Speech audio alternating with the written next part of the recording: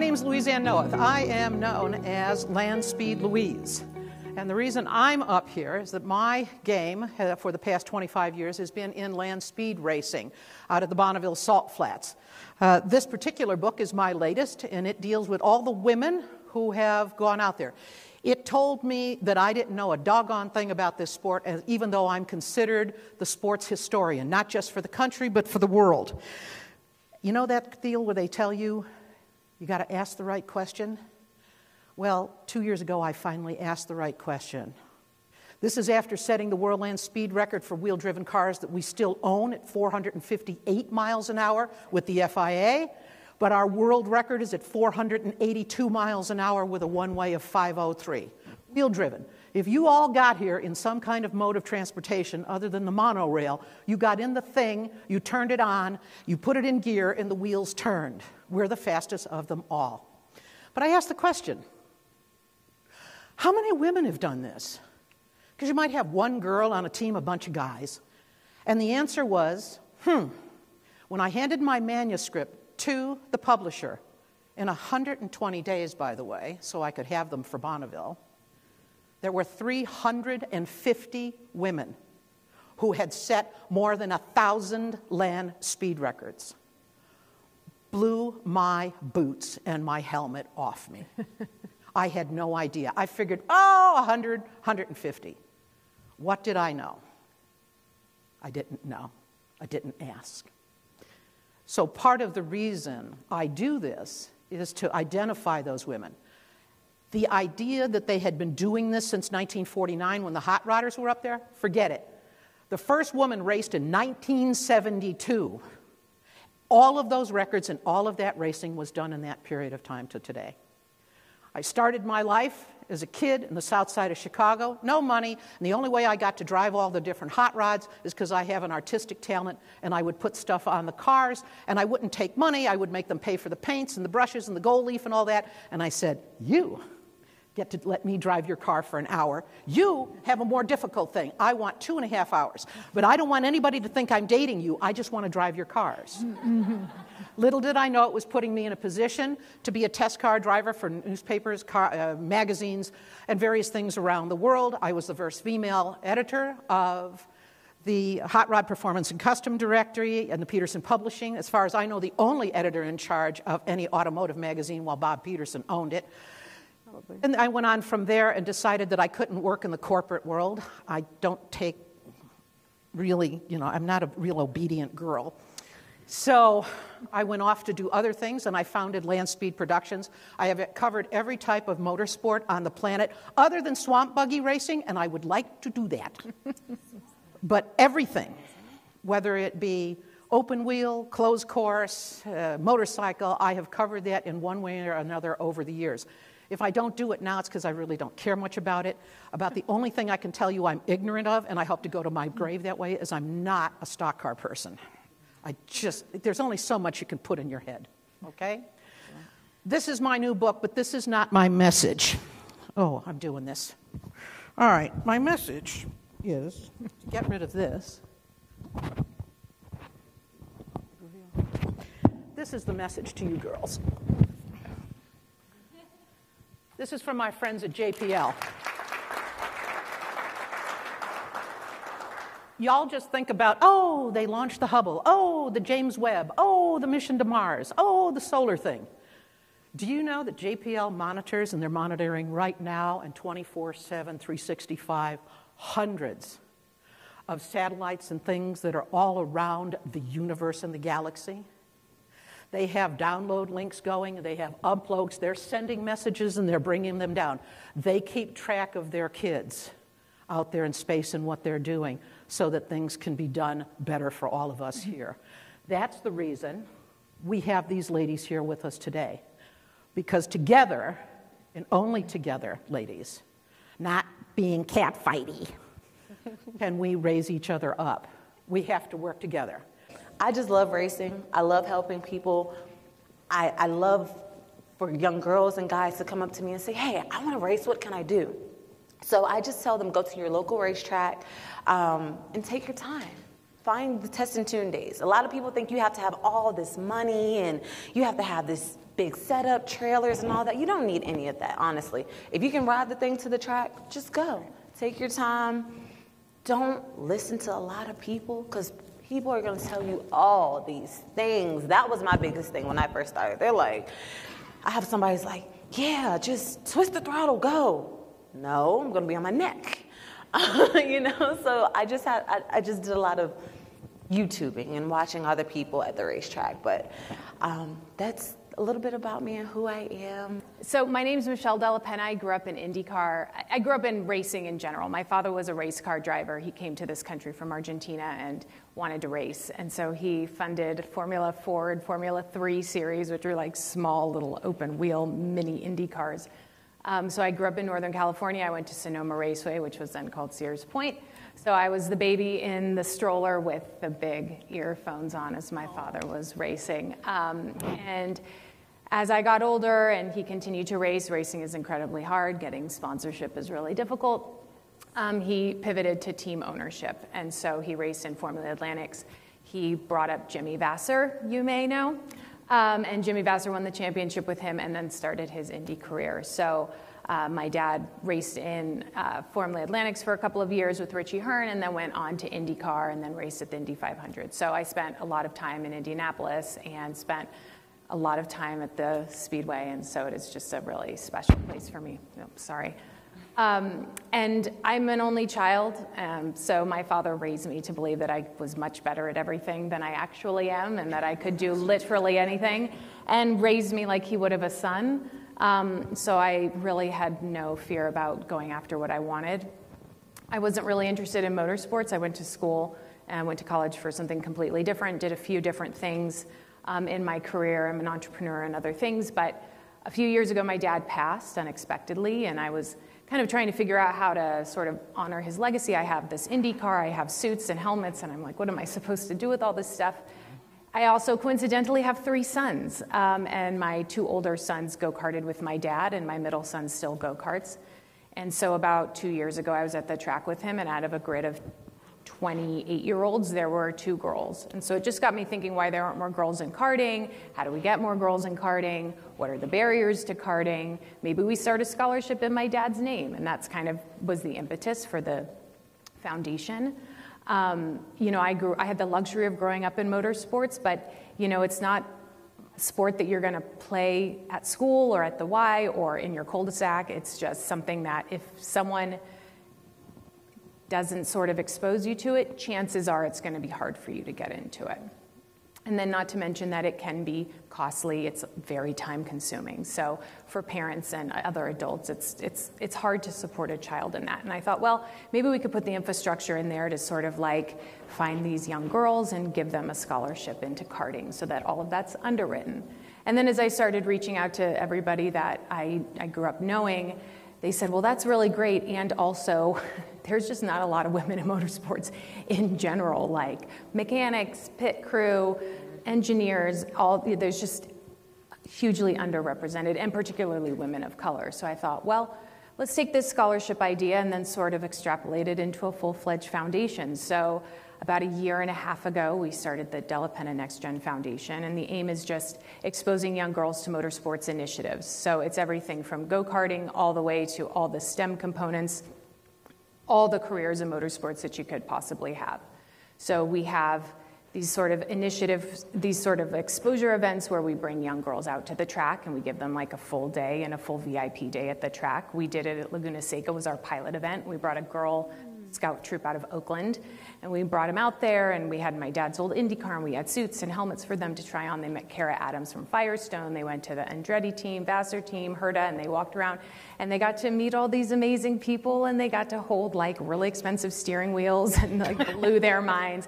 And it was something that they'd never seen before, right? So that's sort of like the first phase of what we do. And then the next phase is these sort of fellowships where we have women like Beth Paretta and other amazing women who will have a young girl shadow them for a week and they get to see what women in motorsports do. So it could be a team owner, it could be an engineer, it could be a driver, and they get to sort of see where they might fit in motorsports. And then the last phase that we're rolling out in 24 is going to be our scholarship program. So we will have a young girl um, and we will give her a scholarship so that she can do a full season of karting, which will include obviously all the gear, all the support, mechanics, and, de- and development. So it's really great to have all of that, but if you don't know how to drive a go kart, you're not going to get very far. So have someone to help you. Like, what are lines? Why do you follow lines on a track? What, how do you do that? When do you turn? Are you braking too fast? And so being able to help them sort of foster and grow their talent and passion. Girls tend to drop out of sports and STEM initiatives, you know, at the end of junior high and beginning of high school. So our programs are geared from 5 to 16. Um, my kids started go karting at four, which is obscene, but that is when they start. Um, it's terrifying to see a little four year old flying around at 50 miles an hour, but they somehow figure it out. So, you know, our whole, I, I love racing. It is just, this whole foundation is a love letter to my dad. I just love this sport and I'm so invigorated by it, and I just want to see it more accurately represent the world that we live in, which is to say, more women and more color. So, if we can do anything to sort of provide opportunity and then shuttle these young girls into the hands of people who can give them that opportunity, that's really what we're all about. Everybody at the top really wants change, um, but not everybody's willing to do the work at like five, six, seven years old to get these young women involved and invested. So that's what we're all about, and I'm just honored to be here, and I'm happy people keep.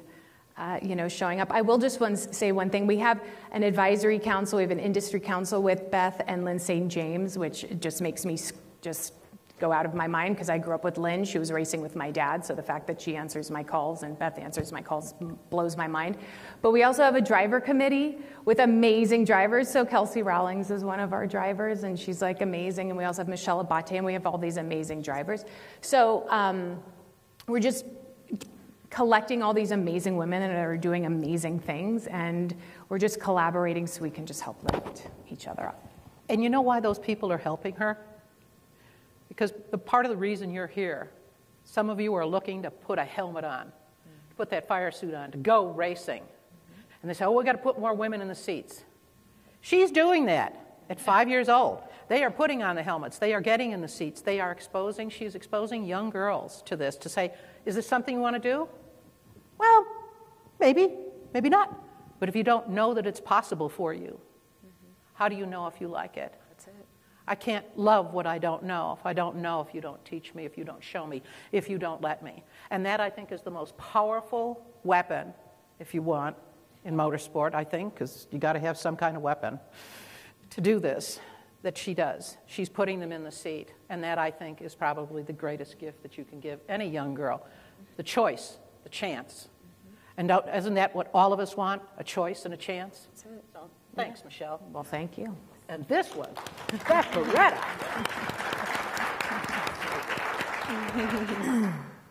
in the news literally every day when I was living in Detroit, and I was living for, you know, for 10 years working for car companies, there's this, there, everybody's lamenting the shortage of talent. There's, there's a shortage of engineers. We're concerned because engineers are retiring at a faster rate than they're being backfilled. There were people being flown in from, you know, internationally for like two-year assignments because we had to fly people in because there weren't, there wasn't enough homegrown talent. So I'm hearing this belly aching in all these meetings. Um, I also now am running these motorsport programs concurrently with my responsibilities of the brand. I know why car companies use racing. They use it to sell cars, but they also use it internally as a recruitment tool. Uh, car companies always have usually, if you know, if you're General Motors, if you're Ford, if you're Fiat Chrysler, if you're BMW, if you're Mercedes, your performance division people are also working on the racing. Makes sense, right? Your AMG guys or girls are going to be working on your race programs. It's not going to be the people making the big GL, right? So, what car companies were doing is they would take their best and brightest and put them on a rotation through the racing programs mm-hmm. and cycle them out. So, it's a wonderful experience. It's exciting. It's sexy when they're at the college fair. Mm-hmm. So, that's how they were using it. I'm seeing it happening. But I also know, so, okay, so little secret the idea of the women's forward race team was not my idea. What? Uh, it was brought to me by a, by a guy. Spoiler. so, um, and the reason for that was I was at, I was at Fiat Chrysler, and a gentleman who I knew. So, one thing I will say when you're the director of motorsport programs, you get a lot of phone calls yeah. from drivers Actually, riders, because we actually sponsored Supercross and Motocross, so we had a little two, uh, two-wheel stuff. Um, and uh, you get a lot of calls from man- driver managers, right? Because you, I, we were hiring, you know, we had a NASCAR program, we had a sports car program. So I got to know a, a network of these people. And this guy called me up, who I still know uh, uh, close to, who lives in London, who was representing some drivers. And he actually said, Hey, can I just run an idea by you? what do you think about a women's program for the Indy 500? And I said, yeah, well, you know, what do you mean? He's like, what if, you, he's like, I was just, he represents a very famous F1 driver. He represents, well, several, but now he is Sergio Perez, you made it for Checo Perez. He's his manager. So Checo at the time was uh, driving for Force India, and so my friend Adrian was on the phone with me and he said, Hey, so this past weekend I was at such and such race and I go into the Force India garage and I saw two women engineers. I was like, What? it was like, you know, two unicorns like sipping at the, at the well. He's like, What? So uh, he's like, But what if, he goes, But, you know, think about it. What if you got like a bunch of women together? And, and so I was like, Yeah, you know, whatever. So he's just running the idea by me. You're a lady in racing. And so I started thinking about it, and then I couldn't stop thinking about it for like three, four days. And I thought, wait, there's something here.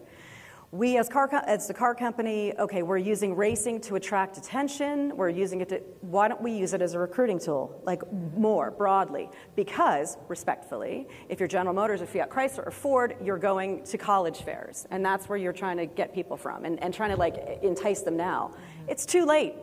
I need like kids younger than that to know that it's possible. Yeah. So my thought was, and this is me having a business degree and not being an ex-racing driver, was okay, I'm solving a business problem. Mm. We need to go higher funnel. Mm-hmm. Started doing some research because I'm a dork and figure out that you can affect a kid's trajectory of what they want to be when they grow up between 10 and 12. Mm. Sweet spot. So, what if we want to talk to 10 and 12 year olds? Racing is something that's fun. It's like the spoonful of sugar. My team is not to create a bunch of racing mechanics. I want you to think it's interesting, pay attention in school, and go work for Boeing. Mm-hmm. I happen to have a race team. Mm-hmm. Now, that's the big broad thing. S- honestly, more micro than that, we all love racing. We love it. It's our life. If you look at my bookshelf, it's about people in racing, history of racing. I mean, I'm kind of a one note. fun at parties. um, I, you know, the reason why I want to do this and why most of us are doing this, we want racing to survive for many years. We want to broaden the audience. So diversity is not a, a nice, cute thing to do. We need people to buy tickets. We need them to watch in the stands. We need them to watch from home on Peacock. and how do you do that? They need to know that it's for them. Yeah. Right. I mean, with all due, it's, it can't be just like old white dudes racing. Nope. And it can't be, because that's not what the world is. Right. Mm-hmm. So, selfishly, I want more people to love it the way I do. Yeah. So that's why I created the team. Now, but then it's also solving a business problem. So I decide, so two last things. I decide that I'm going to start this. So I say to my friend Adrian, great idea. A couple days later, I can't stop thinking about this. He's like, what if we work on it together? Boom, boom, boom. And you know, seven years later, I'm in the Indy 500. Um, so I resign from, from Fiat Chrysler and I start working on this. And it's funny because to your point about like what Louise said about you about the confidence, um, I was then so in it, right? And so somebody asked me a year ago, what made you think you could start an IndyCar team? And my actual answer is, it never occurred to me that I couldn't. There you go. Amen. Yep. That's it. That's it. Right? And one last thing I will say. So then last year, so we do that. We have this race team. Um, we race this year, partial season. I'm now working on next year. But last year, I, I uh, aligned with Lyn St. James to create this Women in Motorsport North America. And the idea is to have women working together. Again, I'm a business person, so it's that idea of like, let's link elbows, let's help each other, let's create this network. Um, but I have to say that I wouldn't have gotten to even be on the grid last year without many different people who reached out, who offered advice, wanted to find out about my project, what can I do to help? And one of the people who called me was Michelle's dad. I'd never, I'd never met him. And he called me and he, like, unsolicited, he's like, Hi, this is John Della Penna. I, I heard that you're working on this thing. Like, tell me about it. I want to help. Because there are certain people in the business that understood the end game. We love it. We want it to survive. And so that's, that's really, really kind of cool. So, Women in Motorsport North America now is this alliance of just a network of women working in the business. We want more women to come in. We want them to know that they're welcome. They, we want them to have mentors and peers that they can talk about. And uh, there is also a motorcycle world champion in the audience right now. Sitting back there, Steffi Ball, um, who is um, uh, motocross. So she's uh, dirt. Uh, but very, very uh, fast uh, world champion, and she is also on, in our committee because we need to expand more to two wheel. We need to expand things like uh, land speed, drag racing. The whole point is all disciplines of racing, all roles, all welcome. Yes. That's it. And think about this I'm a licensed pilot, I have flown many, many different things. I am also very talented when it comes to taking 150 foot gaff rigged schooners and sailboats out in the blue water where you can't see the land for several days. I have driven every type of doggone car, but not a Countach. Hmm. A Miura, though, a Miura. Through all of this, my favorite. I'm not trying to shine any buttons. What I'm trying to tell you is that through all this, because I was a journalist, I had doors open because I had to write the story. I have never met a car, a truck, a motorcycle, an airplane, or a boat that operated differently because it was a girl or a boy driving it. Everything, every machine, it responds to input. Good input, good response. Bad input, Bad response. over the wall.